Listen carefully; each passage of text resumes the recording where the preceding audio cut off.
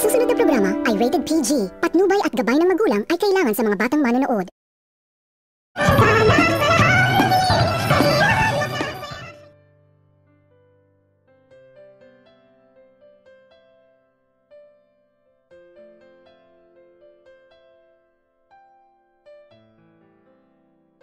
Tapos nitong magmamakaawa ni Zoe kay Dr. Lindo na wag muna umano nitong isisiwalat ni Zoe ang katotohanan at agad naman din itong nangangako itong si Zoe na tutuparin umano nito ni Zoe ang kagustuhan ni Dr. Lindo na makikipagbati na umano muli itong si Zoe kay Annalyn kung kaya't agad naman din itong nagpapanggap itong si Zoe na kailangan umano nitong makikita ni Dr. Lindo na magkabati na umano silang dalawa ni Annalyn kung kaya't nang pag-uwi nito ni Zoe sa Ipix Medical Hospital ay agad niya itong pinuntahan si Annalyn at agad itong kinakausap ni Zoe itong si Annalyn at nakikipagbati na ito kung kaya't labis-labis na din itong ikinatuwa ni Annalyn ang pakikipagbati ni Zoe sa kanya at agad naman din itong pinapatawad ni Annalyn itong si Zoe at dito agad naman din itong nagtatawanan itong dalawa kung kaya't agad naman din itong pinasasalamatan ni Annalyn itong si Zoe na mabuti umano na tinanggap na umano nito muli ni Zoe itong si Annalyn dahil ang buong akala umano nito ni Annalyn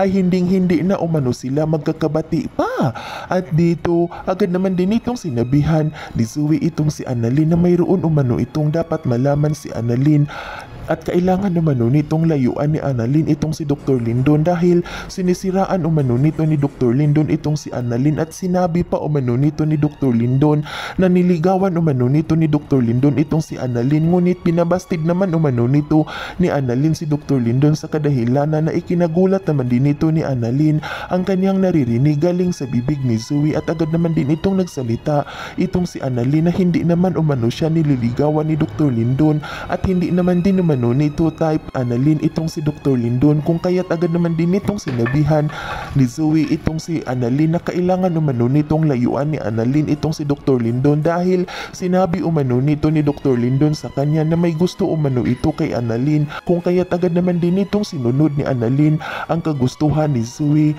at nang makita nito ni Annalyn itong si Dr. Lindon ay agad naman din itong napatakbo itong si Annalyn sa kadahilanan. Nagulat na gulat naman din itong si Dr. Lindon at agad naman din itong sinabihan ni Dr. Lindon itong si Annalyn kung ano umano ang nangyayari nito kung bakit umano ito natatakot kay Dr. Lindon. Yan ay ating aabangan sa susunod pa na pangyayari sa kaganapang ito ng abot kamay na pangarap. Huwag mong kalimutang isubscribe at i-hit ang notification bell ng aking channel